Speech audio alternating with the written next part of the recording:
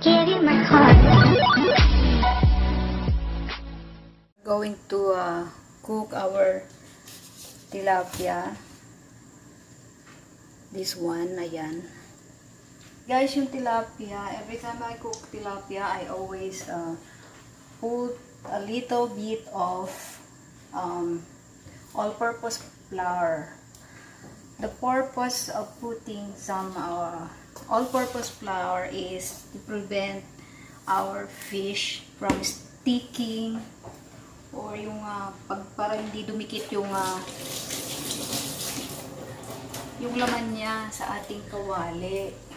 So, ayan. Kaya yun yung nagiging uh, purpose ng ating flour kung bakit nilalagyan ko siya ng flour para hindi siya dumidikit sa ating kawali. And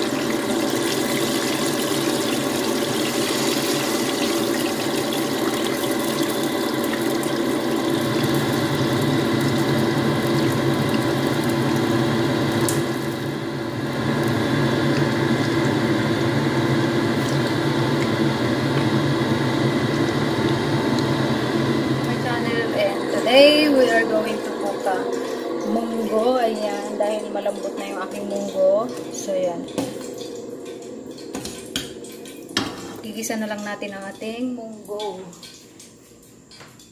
So, mainit na yung ating uh, kawali and then a little bit of oil.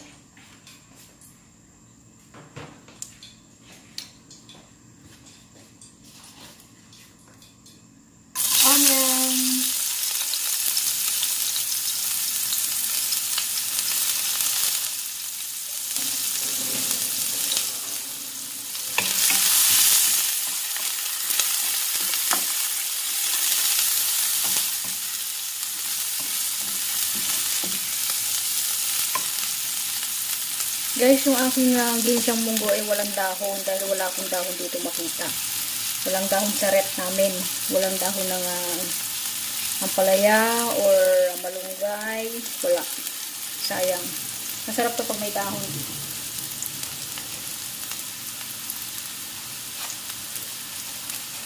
Now, the garlic.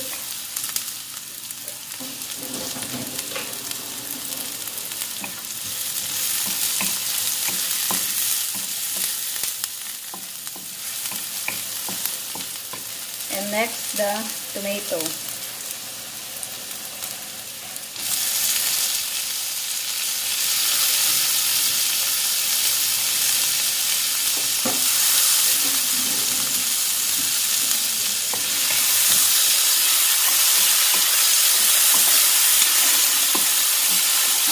Guys, grabe. Kung nandito lang kayo, maamoy nyo yung amoy niya. Sarap ng uh, sibuyas, bawang at itong kamatis. Lagyan natin siya ng konting baboy. Kumuha ako ng konting baboy doon sa ating nilutong adobo spoon.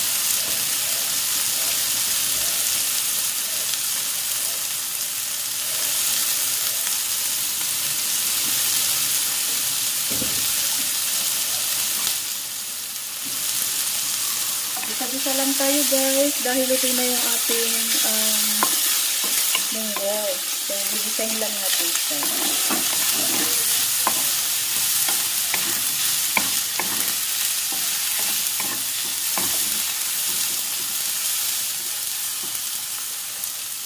And now we're going to add our mango.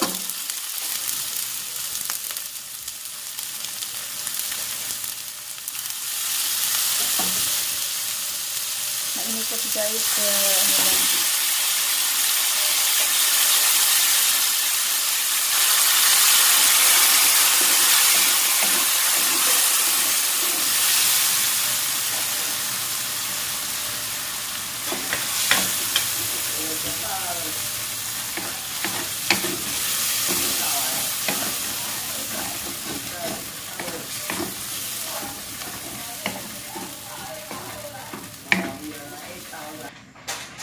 So yun guys, nilagyan ko siya ng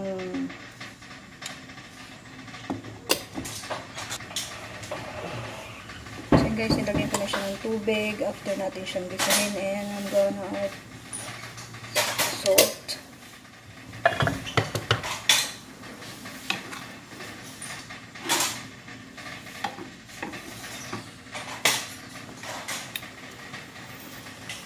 So, yun guys, um, pakulay lang natin siya. Yan lang natin siya mag, uh, ano dyan. So, gusto ko sa munggo yung medyo masabaw. Nagdag ko siya ng half cup of water.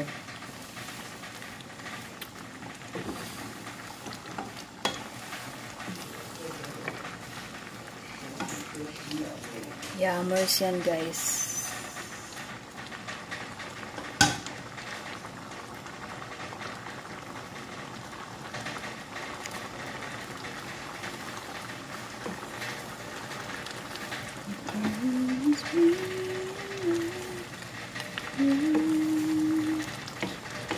Where do we go?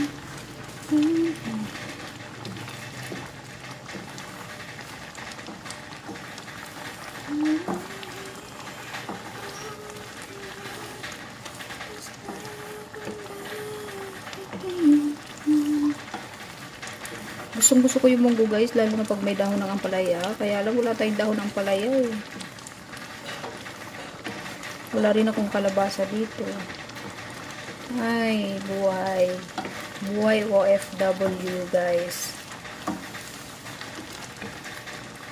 O yan, ganyan siya guys. Sarap. Masarap sana talaga to pag may ah, gulay pang ganun. And then, uh, ay, nako. You can resist. You can eat a lot of uh, rice. Oh my God. Ayan. Yung mga niluluto ko guys, ako lang ang nakain kasi hindi nakain yung alaga ko ng karne. Maraming bawal sa kanya guys. Kaya gustuhin ko maipakain sa kanya, patikim sa kanya lahat ng ano. Hindi pwede. Mamambagas siya tayo. Pero gustong gusto ko talaga guys nagluluto. Dagdagan ko siya ng salt kasi one uh, tablespoon lang yung nilagay ko. Medyo matabang pa siya. So, another one uh, spoon. Teaspoon. I mean, teaspoon. That's teaspoon. So, yan. Palaputin lang natin ng konti. And then, we're done. Everything is done na guys. Nakapagluto na ako ng isda para dito. Diba? Kasi yung isda ko guys, ano na yun eh. Magwa Malapit na mabulok. Kaya niluto ko na. Diyos me, marimar na yan. Wala pang stock yung uh, ref namin. Ayan, konti na lang guys. And uh, we're done na. So, ayan guys. I hope uh, may natutunan po kayo sa aking mga niluto today. And uh, please don't forget to like and subscribe. And please don't forget to share and uh, um, ring your bell button para you're always updated every time I have a new upload. This is Chuchay. Thank you for watching. Bye!